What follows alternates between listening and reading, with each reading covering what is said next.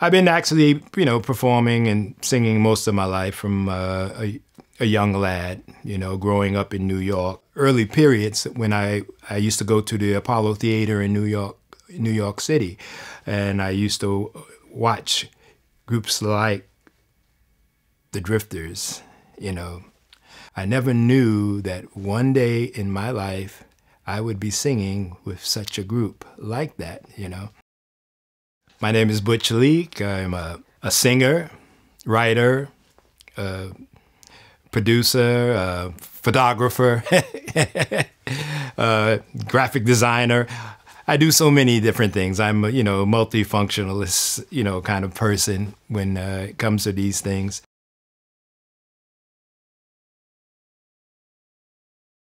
Every corner in New York City we had a vocal group. You know, we used to sing, you know, harmonies in corridors and in hallways, and you know that that was uh, kind of what we did as uh, uh, kids. The first time I was actually brought up on stage professionally, well, not professionally, but I was in the audience and I had my taste of trying to do something. Smokey Robinson of the Miracles you know, asked me to come up stage. I was shy, and I wow, you know, it was uh, uh so I, I, I, you know, I had the bug.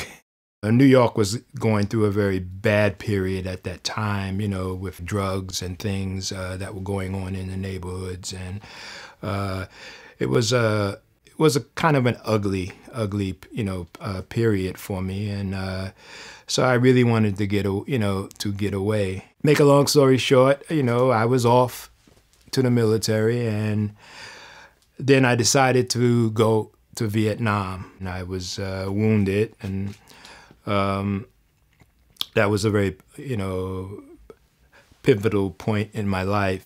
And then one night I was in a place in New York City, it was uh, uptown uh, New York in Harlem, it a place called Allen's Alley and we were having a few drinks, and I was singing and this and that, and then there was a guy down at the other end of the bar, you see, and um, and he said, "Hey, the, this guy can hit a note,"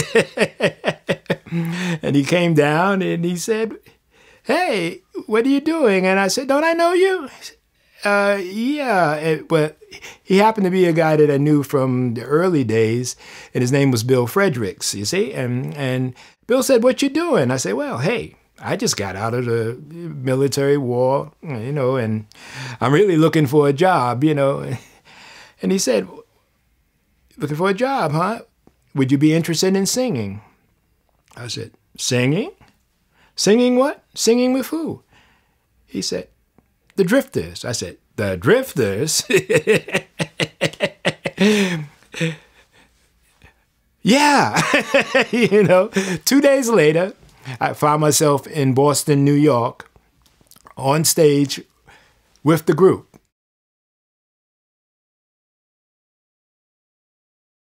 Performing. I didn't know what I was doing. You know, it was it was crazy. You know, was all it was an audition and everything at the same time, you know. Uh, and it's funny because I look back on some of those old pictures because when we were up on stage, you know, we used to work with two mics, you know, the lead mic and the mic for the background, and uh, of course.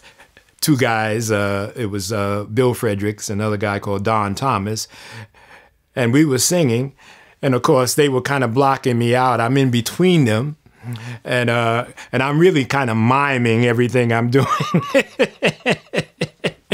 that was somewhat the dream come true, you know, and I was accepted to uh, you know perform with the group. And I remember after the show, I said, "Well, where's everybody going?" You know, well, we're going out to, you know, to have a party and this and that. I said, "Great." He said, "Great." No, here is a bunch of records. He came out with like a little duffel bag and said, You go upstairs and you have to learn all these songs. I said, I have to learn all these songs. I said, Okay. Over a period of time, I wind up learning mostly everything that the Drifters did, and they didn't even know it.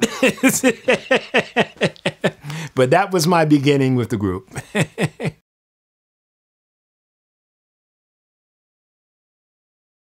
In the early days, you know, uh, after joining uh, uh, the group, we found ourselves, you know, working in places like Art Laboe's in uh, uh, Hollywood, California, um, the Sahara Hotel in uh, Las Vegas, um, Waldorf Astoria in New York City.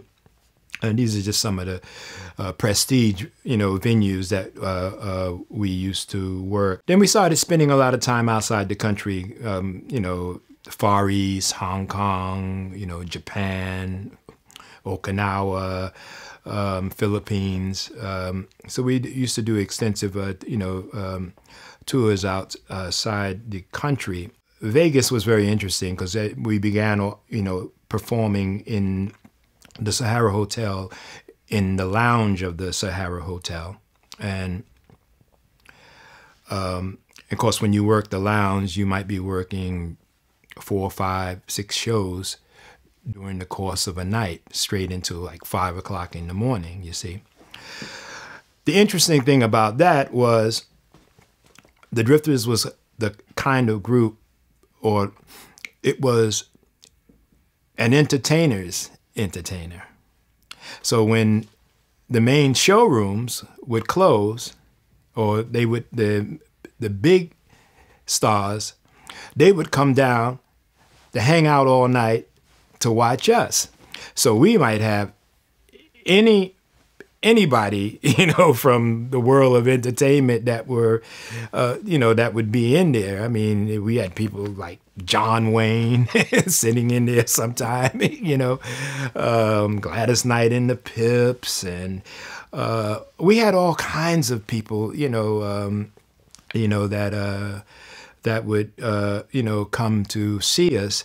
So that was very impressionable to me because I, I was I was meeting some of the, you know uh, greatest people in the world. Uh, after 1975, uh, going into 1976, it started splintering. And with groups, you know, it's just typical of a lot of groups, you know, for various reasons, you know, we begin to peel off. Myself, I like I said, I left at the end of 1975 and I decided to go solo. And like Bill Fredericks, he left in 1954, and Grant left in uh, 1954. And we all went solo. The group went on. At that time, um, a guy called Joe Blunt came in and he replaced me, and uh, uh, Clyde Brown uh, replaced Bill Fredericks. Um, it went into another big, you know, spinoff of members straight on up through to the 90s and be, you know beyond it was many changes. So the guys looked at me and said well what do you think we're going to do now? You know?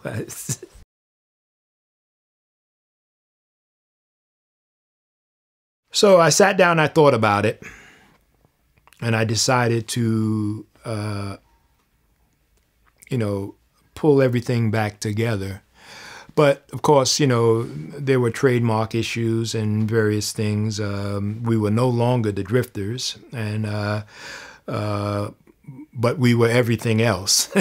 we were the original people that sang the songs, you know, um, and we were the golden age members, you know, of the third golden age, and uh, half of us were still uh, living at that time, and and so I said, well, we, I got to figure out a way to, you know, to capture what we did without having the issues and the problems.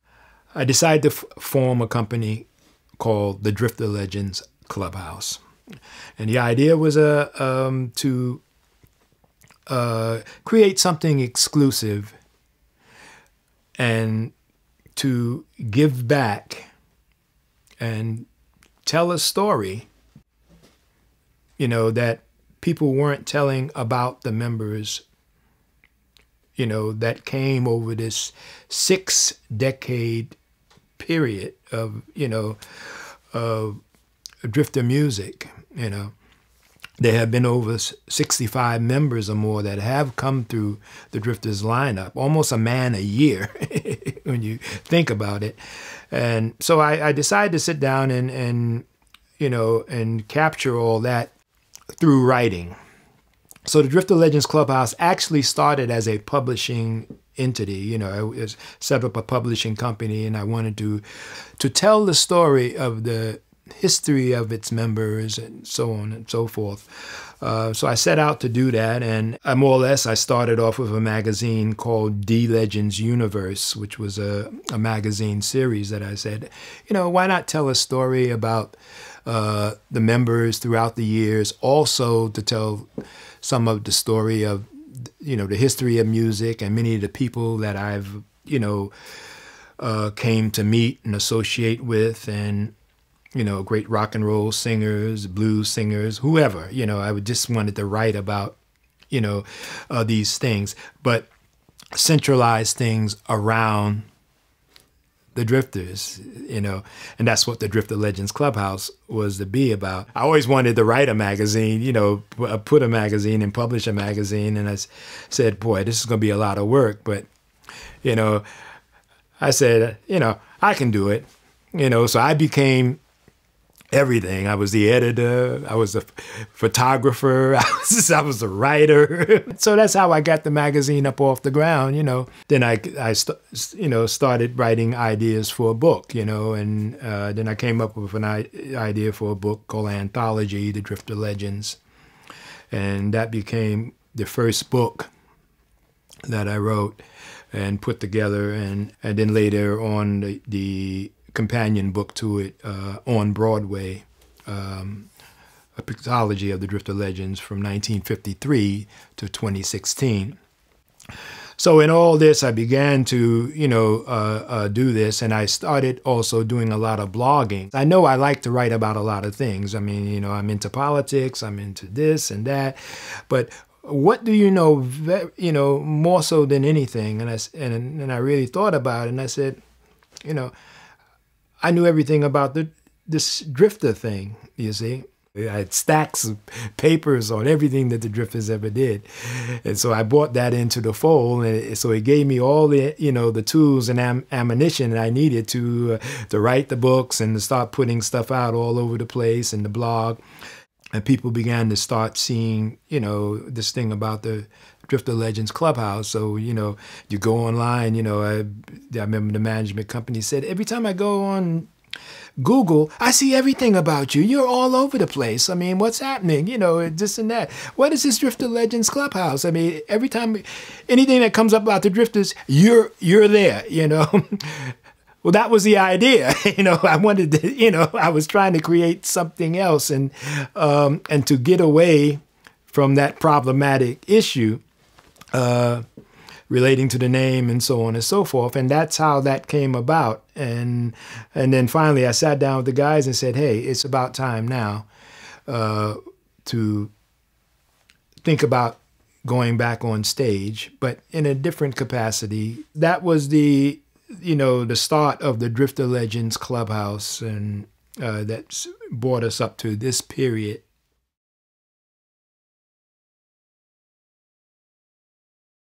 Well, of course, the future uh, for you know for us is just basically you know performing and getting back out there to uh, uh, let everybody know who we are, um, to do new music.